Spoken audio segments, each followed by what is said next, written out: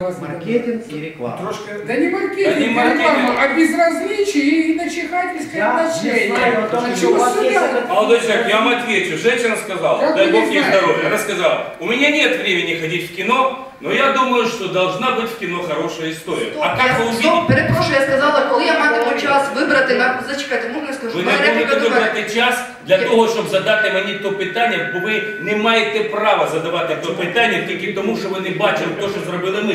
Я перепрошую, я сказала, що я вибираю між книжкою і театром і Стоп, стоп, кіно, стоп. то в мене Книжку дуже ви- мало часу. Я залишилося. честно вона нічого говорю, поганого не Вы задаете вопрос по поводу интересной истории. Вы бы сказали так, ребят, я посмотрела «Ломбард» и посмотрела «Ивана Сын». Я вам скажу, плохие истории. Вы можете создать хорошую историю? Тогда я пойму ваш вопрос. В данном случае не тактичный ваш вопрос, простите, что я вам отвечаю. Насправді я запитала вас, чи взяти українську.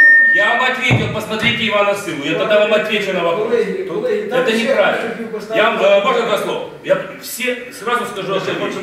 Можно я сейчас скажу одну вещь, прошу прощения. Как мы работаем со зрителем? Вы любите это? Я, я вже бачу, що Еще раз, как мы работаем со зрителем? Мы, когда выходим, все так, о, вы растете, говорю, не-не-не-не-не. Садитесь, посмотрите кино. Так мы, не, интернетовские вопросы мы помним. И уходим. Через 90 минут мы садимся, и вы знаете, бывает ни одного вопроса. Бывает только одна, три фразы, которые я принес из фильма, которые сказали дети. А я сказал, что тебе запомнилось? Правда завтра примножь. Я говорю, второе, что тебе интересно? Скажите, пожалуйста, Виктор Николаевич, а кто сильнее, Иван Сила или Дмитро Халаджи? В стране новый В стране появился новый киногерой, а вы даже об этом не знаете. Притом об этом, это не мы выбрали, это дети выбрали. Понимаете? И третий вопрос был самый потрясающий, который касается всех.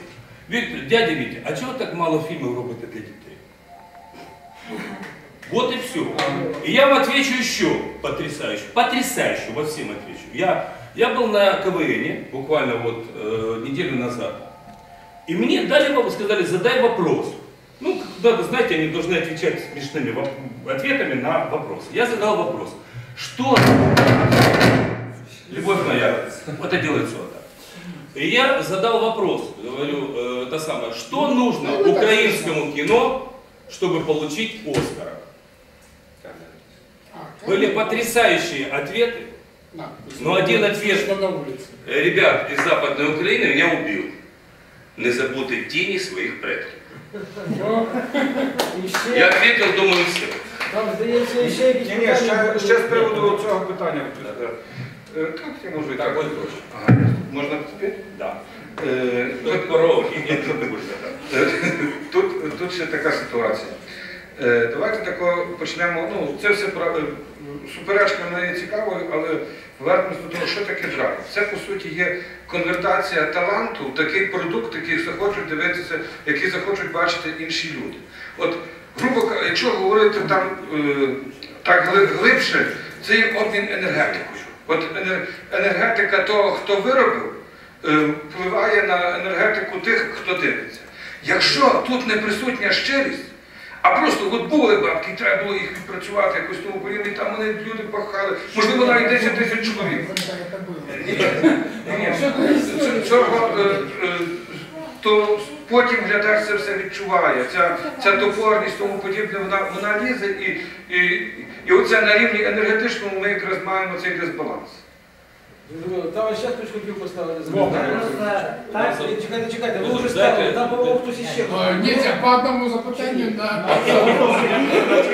я вообще здесь зритель. Я Я- вообще не, я- не журналист, не Ну, дайте профессионал, зрителю- не дайте кинематографист. зрителю Я слово. зритель. Мы Я за поэтому зрителя. вам, я поэтому вам, всем профессионалам, задаю один простой вопрос. Вы говорите, вы смотрели Иван Цил? Нет, я о нем не знаю. Как я могу посмотреть то, чего я не знаю? До меня это не донесли. Ни до меня, ни до моих детей, ни до моей жены. Хотя у меня у жены полно времени. Можно задать вопрос, Да. зачем вы сюда пришли? Я помочь вам строить трансляцию. Да, очень Вам хорошо. Но я вот люблю вы- смотреть кино. еще Я вас говорю. очень люблю. Девушка смотрю- все время работает в газете, А некогда посмотреть кино. Вы настраиваете трансляцию, но у обоих у вас есть вопрос, когда будет наше кино? У меня нет вопроса, Стоп, стоп, стоп, когда будет наше Хорошо. кино. У меня простой, элементарный Почему вопрос. вы меня не заставили пойти в кино? Я вам ответил, денег нет, дальше что? Нет, почему вы не... Вот вы знаете, я рад, что вы пришли настраивать оборудование, И вы приведете всю свою семью на этот фильм, на мой, еще на какой. Хотя бы из любопытства пойдете сами, чтобы потом прийти, привести семью.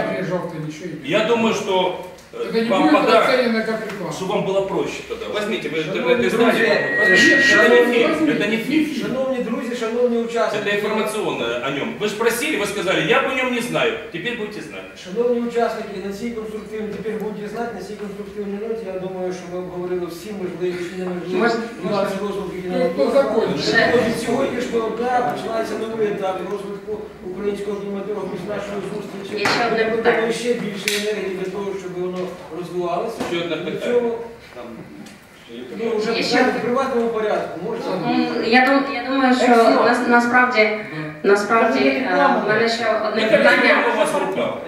Есть до компанії У нас «Кіногруп», страниця на тому що і е, наскільки я знаю, е, українське кіно стає можливим через коли, коли, коли з'являються такі компанії, як Ледоєн, е, на якій я мала честь бачити, як е, Віктор Андрієнко озвучував один з е, українських дубляжів голівудських мультфільмів. І компанія Кінотур, яка дозволяє робити той самий постпродакшн, який надає якість картинки і звуку. Дадим ему слово. Я, да, я саме йому і хотіла передати слово. Я вибачте, я з вами попрощаюсь, тому що мені треба треба півгодини в ефірі коментувати Ну, сучасні події. це нормально. Дякую вам за участь. Завтра. Завтра, чи послезавтра. думаю, Чому-нибудь, коли... Я, э, я, можно, подключусь э, с точки зрения ну, и продюсера, и зрителя, и э, есть некие э, мысли по, э, по, фильмам, вопросы, которые вы задавали. Э, Кроме того, что я занимаюсь компанией Кинотур, продюсирую вот постпродакшн, это современная лаборатория класса А, это действительно фильм Параджанов, у нас цветокоррекцию этого фильма, собственно, как бы производил колорист, который колоризировал фильм э, «Артист», это 7 Оскаров. И уровень, технический уровень наших мощностей в Украине на сегодняшний день ну, позволяет работать, собственно, как бы с любой стороной мира, передовой, как бы с классом А, без вопросов. Ну, вопрос сейчас, как говорится, не про кинотур, мы можем делать, э, и учимся, и стараемся, и хочется, чтобы это было лучше. Вопрос действительно касается будущего этого нашего кинематографа, его проката и потенциального его расширения где. Вот. Вопрос, смотрите, э, ну, кроме прочего, я член Оскаровского комитета, вот, ну, когда выдвигали фильм Параджанов на Оскар, я вам расскажу одну историю.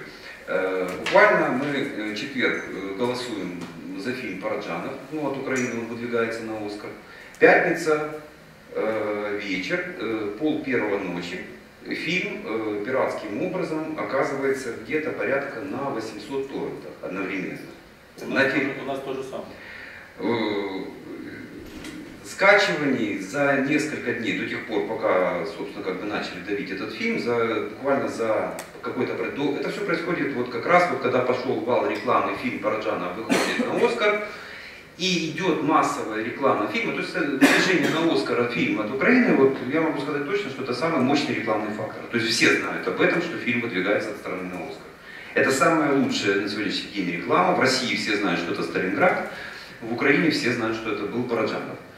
Буквально все пишут об этом, это на слуху, и одновременно происходит валовый, как бы, ну, как бы практически обвал проката фильма. То есть до его основного массового проката произошло где-то порядка 300 тысяч скачиваний фильма. Это те зрители, о которых мы говорим. Это тот кассовый сбор. Умножьте 300 тысяч, к примеру. Ну, пускай там не все досмотрят. По 30 гривен хотя бы. По 3 доллара. По 5 по 5 долларов умножаем, сколько мы получили минус. Интернет ничего не приносит. человек. Я, кроме прочего, как бы руковожу организацией Арма Украина. Это защита авторских прав в аудиовизуальной сфере. Мы работаем по доработке роялти с ретрансляцией кабельных сетей. Мощнейшее лобби со стороны противостояния со всех концов, как бы, нежелание ничего платить, нежелание ничего лицензировать, добиться лицензионного показа фильма в интернет-сети, это просто катастрофа какая-то. Как он там из него возвращает деньги с интернета, никто не знает. Мы понимаем, что рынок уходит из кинотеатрального показа и перемещается в квартирные показы, в кабельные сети, в интернет. Как продюсерам без э, монополии э, контроля со стороны государства добиться возврата этих денег, никто пока сказать не может. Это потерянный рынок фактически для нас. И пример Параджана фильм. 300 тысяч скачиваний. Где с них деньги? Никто не скажет вам, где эти деньги. Кроме тех, кто за них получает абонентскую плату с каждого конкретного человека, который смотрит этот. И никто не хочет этими деньгами делиться. Мое личное мнение как продюсера, потому что у меня ну, багаж фильмов достаточно большой, и опыт проката. Первый фильм мы с Володей еще делали «Мойщики автомобилей», это Володя Тихого фильм. И Володя был фактически тогда первым дистрибьютором некого, не как бы, говорит, так, наверное, такого пе- первого опыта продюсерского, продюсерского фильма. Вот. И э, это были, да, это и, собственно, как бы показ был на Интере примерно и все. Без регулирования рынка, без регулирования рынка со стороны государства, как это происходит, э, ну, должно быть квотирование. Мы упустили, действительно, ситуацию обсудили все. Мы упустили часть рынка. Был период, когда он провалился. Рухнула индустрия, э, границы открылись, э, свободную нишу заняли э, развитые, собственно, как бы индустрии. Вытеснили всю технологическую часть, которая была в Советском Союзе. Тогда и в Украине. В Украине вот мы находимся на Васильковской, где тут находится студия «Ледоед» и студия «Кинотур». Э, Там же находится химическая лаборатория. Каперфабрика. Это знаменитое было предприятие во время Советского Союза, которое выпускало фильмокопии, оно печатало фильмокопии на весь Советский Союз, страны Восточной Европы и Африки. Это колоссальнейшие были мощности, которые на сегодняшний день несравнимы, как бы, не с- они, они печатали, э, короче, мы считали, что они в месяц печатали такое количество копий, которое в Украине в течение года сейчас находится, пленочных имеется в виду. То есть это предприятие, которое, ну, это, это были колоссальные мощности, которые заняли и с тех пор на нашей территории, вот с тех пор, как положили вот все эти предприятия, как бы, ну, вот, ну, про- производственные мощности, пленку печатала Москва, пленку печатал Лондон и пленку печатал Рим. И до сих пор, в принципе, это так. Ну, как бы часть пленки печатается на КПК и в центре Довженко, но основные тиражи все равно печатают и зарабатывают на этом деньги с- лаборатории, находящиеся за территорией В Украины. восьмом году только возродилась печать пленки на Украине. В 2000 И, естественно, это те оборотные деньги, которые были выданы из индустрии. Это практически это промышленный сектор. Из него забрали деньги, их отдали другим людям. О возвратности и кругообороте как бы, денег как бы, мы, мы сразу как бы забыли. Без регулирования рынка в этом вопросе, к примеру, Китай. Вот сейчас тут была делегация в Китае, подписали соглашение. Что происходит в Китае? Знаете, сколько в Китае фильмов разрешено иностранных показывать в год? Квота 20 фильмов. Все, все остальное наше, извините. Корея, то же самое. Есть квота на национальные Во фильмы. Во Франции. Франция, Франция то же самое. стала зарабатывать на американском кинематографе. Откуда возник... Хотите, чтобы рынок, кинематограф? хотите, чтобы рынок развивался, чтобы в нем вращались деньги и хватало на сценаристов, на какие-то идеи. Должна быть цепочка. Деньги, производство, возврат денег. Как говорю, и то же самое с интернетом. До тех пор, пока не будет э, отрегулирован, сейчас вот закон как бы, находится у нас мы в рабочей группе по этому закону регулирования, когда будут сайты закрывать буквально по первому обращению Департамент службы интеллектуальной собственности, до тех пор, пока не будет наведен порядок, порядок в интернет-пространстве, когда фильм можно будет смотреть не пиратскую копию, как сейчас на 90%, там, ну, а нормальный лицензионный продукт, когда онлайн-кинотеатры будут получать прокатное удостоверение и по нему показывать кино, как кинотеатр делает. Попробуй кинотеатру договор подпиши без прокатного удостоверения. Я вас огорчу, никогда такого не будет, что вы только что рассказали. Э, Молодой человек, вы глубоко ошибаетесь, вы просто не владеете ситуацией. Страну, как бы, смотрите, вы как бы не понимаете, о чем говорите. Я вхожу в рабочую группу, которая находится в кабинете министров. И если вы сейчас будете говорить, что у вас ничего, как бы, что вы сильнее, чем правительство, кабельные сети, как бы, то как бы вы глубоко в этом ошибаетесь. Да, у вас рекламка. Молодой человек, с мы прекрасно знакомы. Ну, и вы И с его скажите, как учредителями, в отличие от вас. И расскажите, как государство... Мы с вами не будем сейчас спорить, как бы. Вы сейчас занимаетесь своими вопросами, настройкой как бы кабельной как бы, сети, пожалуйста. Поэтому вот вопрос и мнение такое, что до тех пор, до тех пор, пока не будет как бы, регулирования рынка со стороны государства и наведение порядка вот с такими хулиганами, которые говорят, никогда там порядка не будет. Мы никогда не вернем деньги с нашего как бы, рынка. И никогда не заработают ни сценарные группы, ни желание людей ходить в кино. Никогда этого не произойдет. Только путем волевым решением со стороны страны навести в этом секторе порядок. И в том числе по авторским правам, потому что это общая беда. И журналистов все знают, как, как происходит копирование статей, как борются за авторские права, и, а то же самое с фильмами. И очень обидно, когда происходят такие факты, когда группа 5 лет Параджанова делала, сценаристы, режиссеры, все, они наблюдают, как фильм практически везде, по всему миру происходит его скачивание, ничего не могут сделать. Потому что в Украине просто вот такая вот система, которая говорит, сидит человек в камерных сетях, а что, что вы тут рассказываете нам? Мы выложим его все равно в сеть. Хоть вы тут тресните. Одновременно за один день на 800 ресурсах появляется сайт. Это как называется?